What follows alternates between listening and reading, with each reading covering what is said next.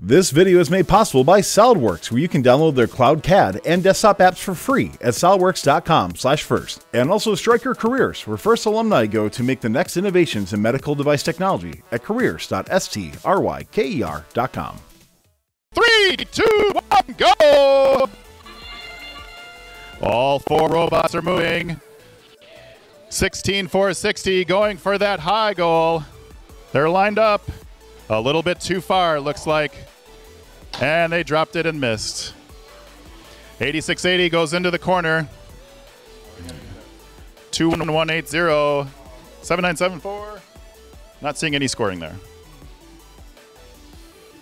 Four seconds.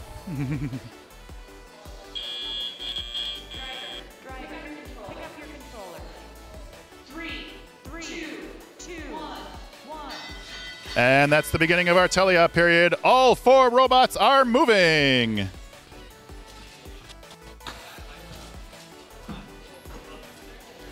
Sixteen four sixty scores on the low goal. 8680 trying to score on that high goal. And they do. 16 460. That's a.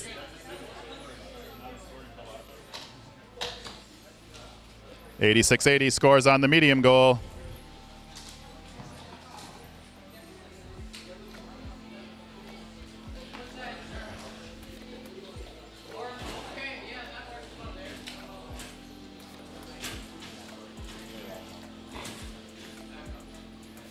Kraken Pinion going for that high goal. And they do, they score it.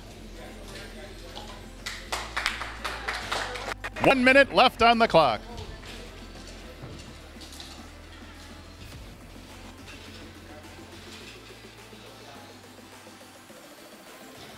Eighty-six eighty going for the station in the corner.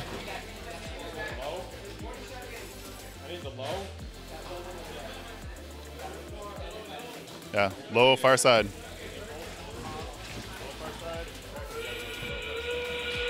That's end game. At this point, people can start.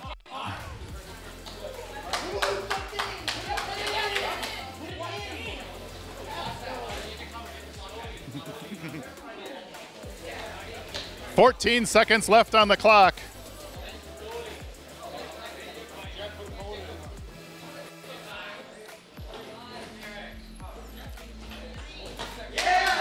one. Oh. And the score from our final match 67 points for the Blue Alliance. And beating their previous round, 90 points for the Red Alliance.